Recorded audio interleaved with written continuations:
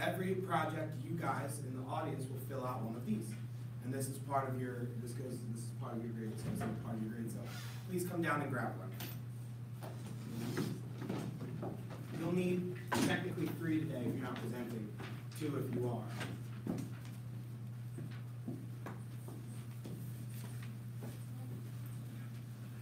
This is weird. Yes. I think it's the today's presentation made right. So here's your controls. No, it's fine. This whole room is actually present. It's good enough to me. Thank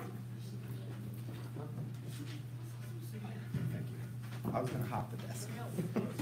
And then I looked at the iPad and everything here, and I was like, oh, maybe I shouldn't hop the desk. Oh, that looks good. Well, it looks like it's zoomed in, but that's Looks what it looks like, yeah. I'll probably turn it on. Show that here.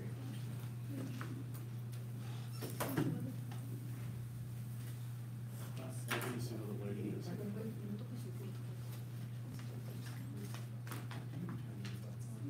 The Burmese python. Ooh. That's nice. Oh, that's that's actually nice. sick, dude, that's perfect.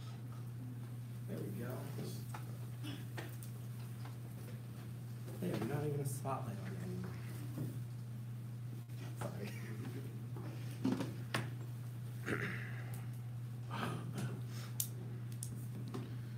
Burmese python. That's my favorite.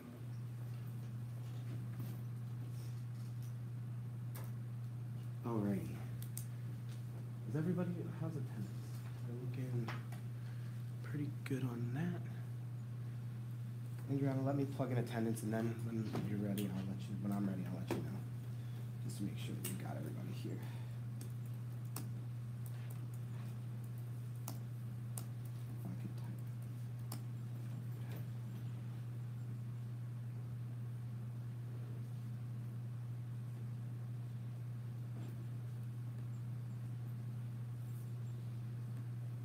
Alrighty. I can't see behind me, so you guys are gonna have to help me out. Nicole's at the nurse. Yvonne, I saw. Jesse, I saw. Sherry, I saw. Jennifer, I'm here. wonderful. Ava, I saw. Karen, I saw. Lindsay? No Lindsay? Nicole? I saw, I thought I saw. Yep. And then, yeah, wonderful. Alrighty. Adriana, whenever you're ready, you may go ahead and get started. Good morning. Um, cryptic, tenacious, and resilient invaders. To introduce the Burmese pythons, or Pythons bivittatus, that reside in the Everglades Park, which encompasses the majority of southern Florida. Burmese pythons were classified as Pythonidae, which is a family of non-venomous snakes native to southeastern Asia, Southeastern Asia. Burmese pythons are large constrictor snakes who are distinguished by black and brown blotches separated by tongue coloration that extends along their back. The 1990s was the acme of illegal pet trade. According to the American Ecological Society, 99,000 pythons were brought into the country. Many individuals bought these snakes without the, the faintest understanding of their biological maturity. What many individuals hadn't realized was that this would eventually look like this. Upon maturing into adulthood, Burmese pythons would attain lengths up to 26 feet, and as a result, pet owners released them into the nearby swamps. From there, these pythons eventually made their way to the Everglades. The Everglades is a combination of expansive wetlands, marshes, and a subtropical climate, which creates an ideal habitat for the Burmese pythons. Their introduction can also be attributed to a certain hurricane which destroyed many python breeding preserves and shelters, thus resulting to even more Burmese pythons into the Everglades. The Burmese pythons had, have been a reported species since the early 1990s. Reported species are those recorded with no conducive research of their reproductive status. In 2000, the Burmese pythons were acknowledged as an established reproducing species.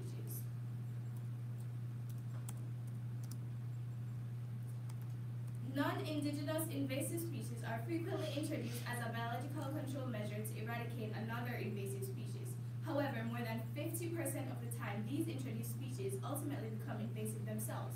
Yet without any deliberate intent for their introduction, Burmese pythons have evolved into one of the most egregious and alarming incidences of invasion in the state of Florida and has spread throughout. The protection of biological and cultural diversity is the biggest ecological and ethical challenge of our times. Therefore, sustaining an organism who survives against these principles is not beneficial. Burmese pythons are highly agile and their vision is quite poor, so they rely on two senses for survival and catching prey. These reptiles are able to grow up to 26 feet in length and can weigh up to 300 pounds. Burmese pythons are apex predators, meaning they have no natural predators and are on the top of the food chain. Burmese pythons are also gape limited predators that swallow their prey, which theoretically means they can consume a more diverse range of s- prey. Burmese pythons in southern Florida.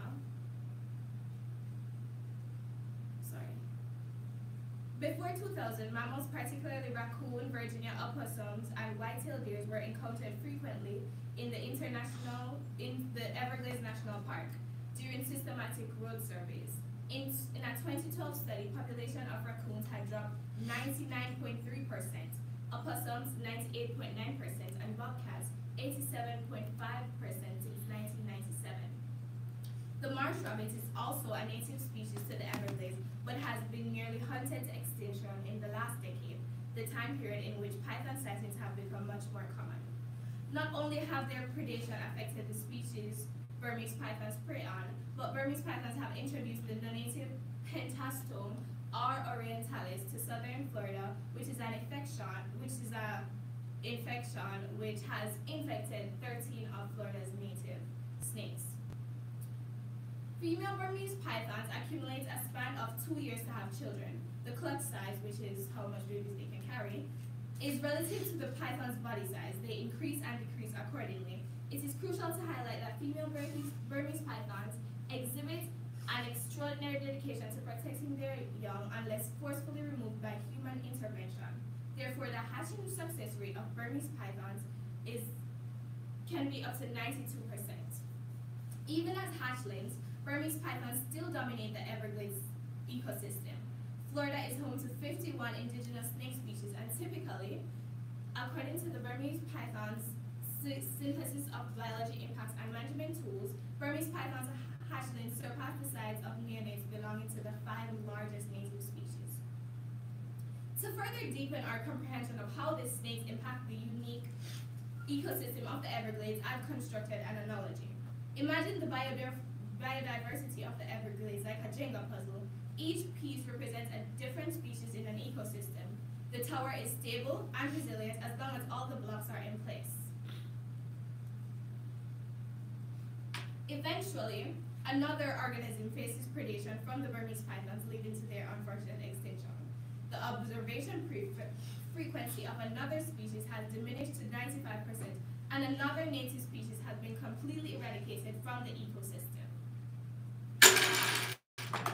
Initially, the ecosystem might cope, but as more and more species are lost, the entire ecosystem becomes increasingly fragile and collapses. Also, another food for thought, resources are finite. That simply means the Everglades National Park will not sustain the Burmese pythons forever.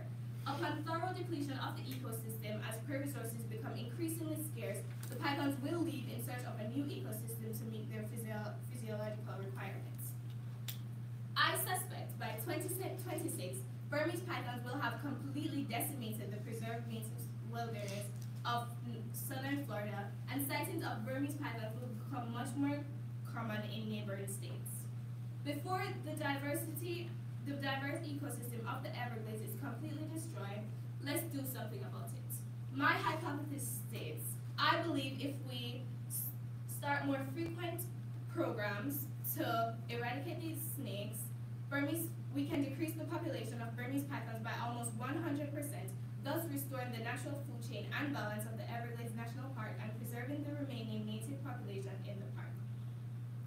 Using captured northern short-tailed shrew as a model, my team and I experimentally manipulated their population to determine the contribution of Burmese pythons in mammal decline. We chose three sites in the Everglades National Park. The first site has records of one Burmese python spotted within every two-mile radius, within every two-mile radius of the site. The second site has records of sporadic sightings but no signs of established nests or breeding ground. Infer the third site has almost little to no sightings of Burmese pythons. Infrared sensors and cameras were placed at trees which bordered these sites so we could be aware if a shrew had left the site of study. We released 30 shrews into each control site. We track the shrews via triangulation and tri- triangulation at least once every 48 hours using a handheld receiver. The study ran throughout the months of June 2023 to July 2023. Out of the initial 30 shrews released at the first site, only five departed from the control area. From the remaining 25 shrews, 15 were preyed upon and consumed and consumed by Burmese pythons, and the remainder were recovered. At the second site, 20 shrews were recovered with only eight falling victim to the Burmese pythons, and the remaining two were preyed upon by other mammals. On the third site, we located 25 shrews, among which only four were preyed upon by the Burmese pythons, and one shrew successfully evaded the capture at the control site. In 2017, the state of Florida launched contractor programs and competitions created by, by Florida Fish and Wildlife Conservation Commissions, which were open to individuals across the globe. Since the launch, over 11,228 pythons have been removed. That is 62% of the 18,000 Burmese pythons which have been removed from the state of Florida since its recognition as a reproducing species in 2000. This year, this year they were able to successfully remove 209 Burmese pythons. From the data collected in my previous study, my team and I had enough understanding of the spatial ecology of the Burmese pythons. We were able to identify areas where Burmese pythons were most prevalent in order to hone our study on key locations of the Everglades National Park. Our program will be funded by Everglades National Park, USGS, Greater Everglades Priority Ecosystem Science Program, and Invasive Species Program of the USGS. With this funding, our team will host a bi-monthly Florida program, Florida Challenge, in which hunters will be invited from all across the globe to capture pythons, to capture pythons throughout the Florida Everglades for a grand monetary prize. Information will be advertised showcasing the current problem the Everglades is facing and why it's important to help to counter these issues. Hunters will be guided by specific measures which they should take in order to humanely euthanize the python. This test will run for six months and has a predicted 85% succession. Population of predators and prey evolve together over time and live in balance. With the successful eradication of the Burmese pythons from the test from our test, the Everglades will regain its natural balance and biodi- biodiversity of the Everglades will increase. Species subjected to intense predation will rebuild themselves, and this will also help to protect and preserve the region's native fauna, including various species and small mammals. Preserving the natural state of the Everglades by controlling invasive species could positively could also positively impact the local economy. In closing, it can be concluded that Burmese pythons are highly effective invaders. They adapted to a new environment and firmly established their population within, the, within less than a decade. They have a very high hatching success rate and they almost completely eradicated native species from their environment. Although these snakes are simply fulfilling their purpose as an animal in the pursuit of maintaining ecological equi- equilibrium, ensuring sustainability, and fostering life, they unfortunately must be eradicated.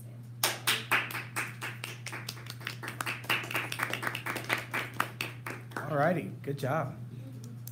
Any questions? So how exactly will you eradicate, like, like, um, uh, what, what, what are they gonna do with hunters with the snakes?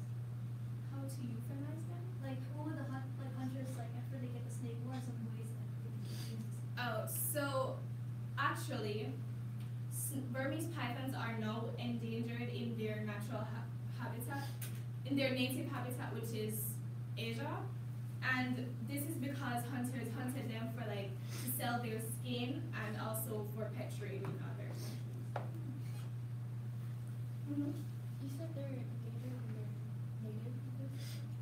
So your um your test would be to eradicate them, right? Mhm. Um so why did you choose that over maybe translocation? Okay, so this is okay. They're endangered in their native species because they're hunted, and I figured because this is a measure they took to actually get them out. This is also a measure we could to- take if we do it more frequently to also remove them. And is translocation like relocating them to a Yes, place? just take them and move them. Yeah, it's also like it would be they're like really large species and it would also take a lot of financial or monetary requirements to actually move them. What did you mean by restore the natural food chain? Like, what does that entail? Okay, so in every ecosystem, like they have a balance. Um, so invasive species like cause ecological distortion. Means they don't add to the ecosystem, but they disrupt what is there. So pythons can like feed on other preys, which are preys of another predator, and this can also this could cause a decline in that predator because they're getting rid of their preys. So it really likes remove substantial things in their chain and yeah. Awesome. Mm-hmm. Any questions? All right. Good work. Thank you. All righty. Awesome. Sherry, you ready? Yeah? All right, I'll pull it up for you.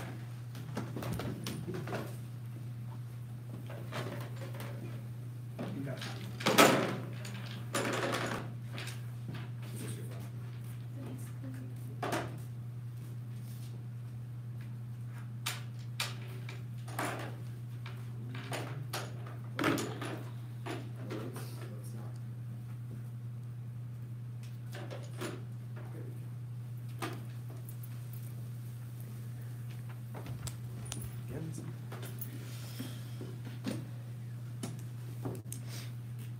Uh, the, the invasive species I want to introduce is brown tree snake. The scientific name is Viola in- Viola invaderus. Um, the characteristics of brown tree snake. A brown tree snake is arboreal snakes ranging from three to uh, seven feet long, with dark blotches or bands on their bodies. They are most active at night and reproduce by laying eggs. Brown tree snake distribution areas. The brown tree snake is native to Australia, Indonesia, and Papua New Guinea. During World War II, the U.S. military built a military base here in Burma. Uh, the ships and uh, transporting supplies come in and out here.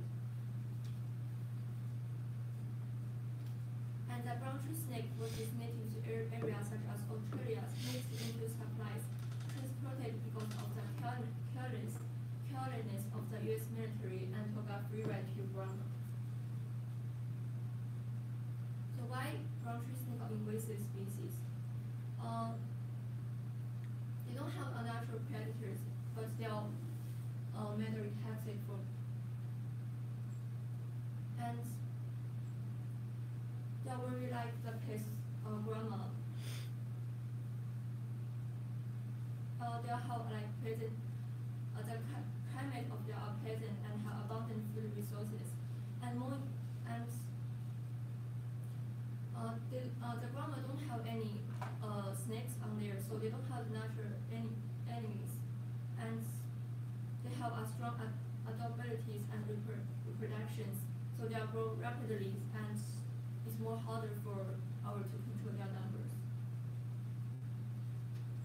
And the changes that Brown tree snake brought to the environment. One of the most serious changes is the survey to native species. Brown tree snakes have successfully eliminated two of the 12 uh, bird species on ground.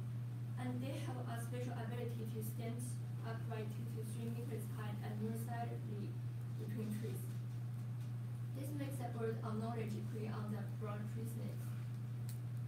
And brown tree snake, snakes like to attack people when they are asleep. When adults get bit- bitten and might have one or two red shallow uh, marks, but for kids, these bites can cause a serious harm. There have even been hospitals where people die because the snakes very like to wrap around uh, the people's necks and make it hard to breathe. Uh, brown, these snakes like to up high and enjoy the sun.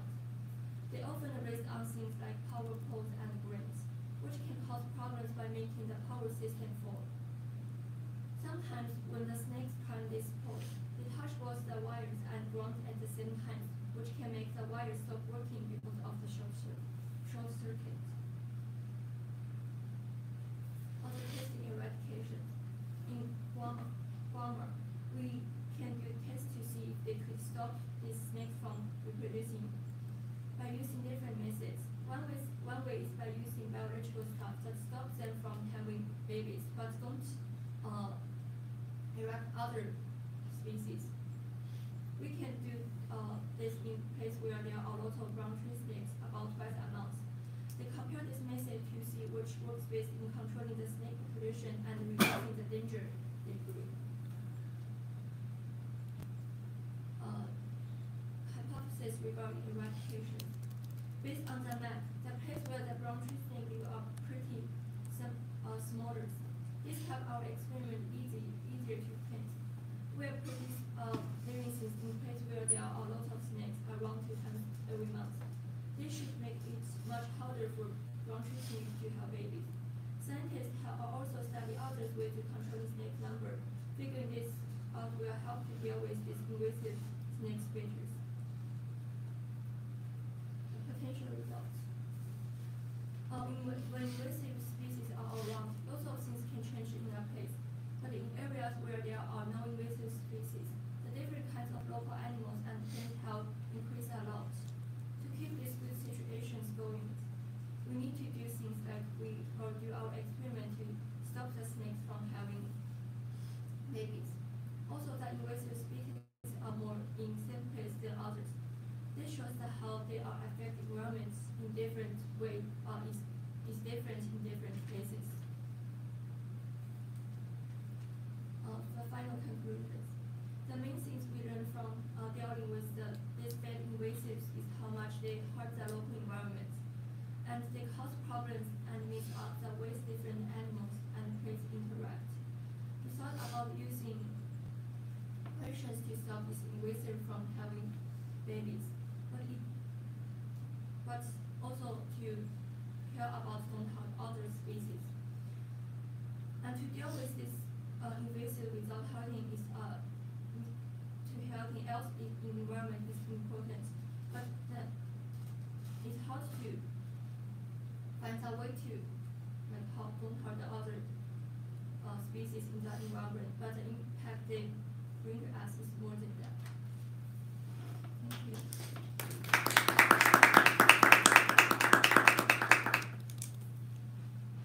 Alrighty. Okay. Is human also their prey? Uh, they don't like prey them like a birds, but they get some, they bite them or like, or they like want to like play with the like people snakes and get them.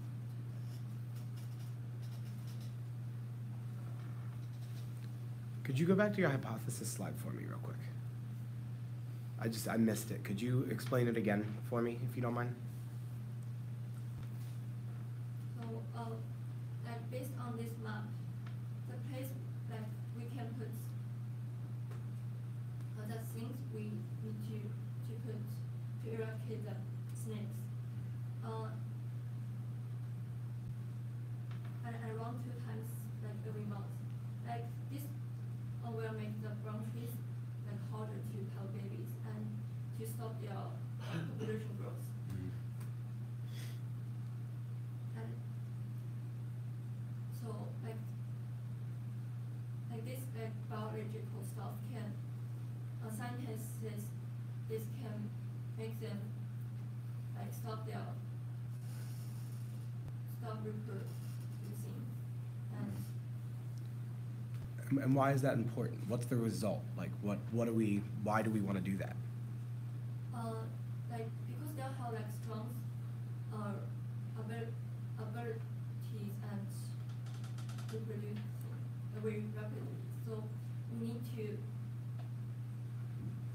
like stop from stop them from having babies to control control the numbers of the snakes.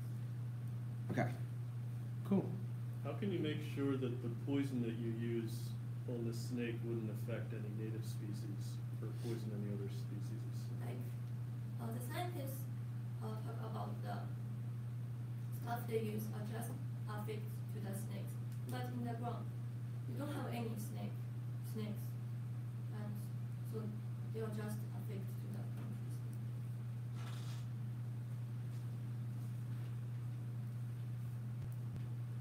All right, any other questions? No? All right, thank you very much. Good work. Good job. All right, Nicole here somewhere? No? Okay. All right, we will hold off for a second. I'm gonna finish up this rubric and then we'll see if, if we get Nicole for the day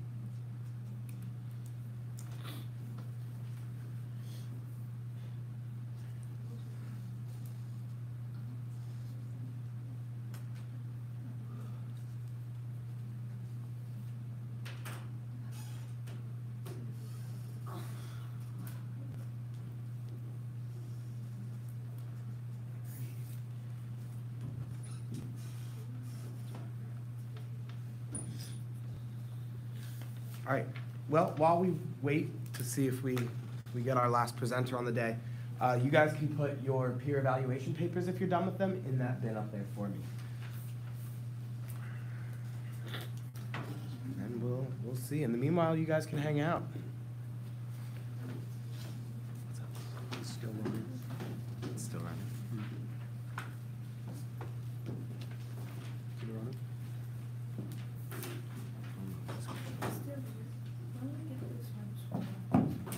When will you get the final score?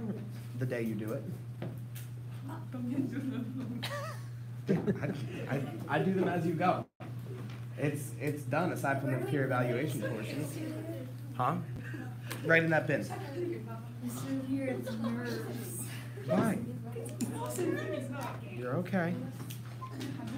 No, the fact nobody showed up. All right. What, what do you mean? There are people here. It's hard in biology class. I'm not in your biology class. Turn. As far as I know. Yeah. How do you become a snake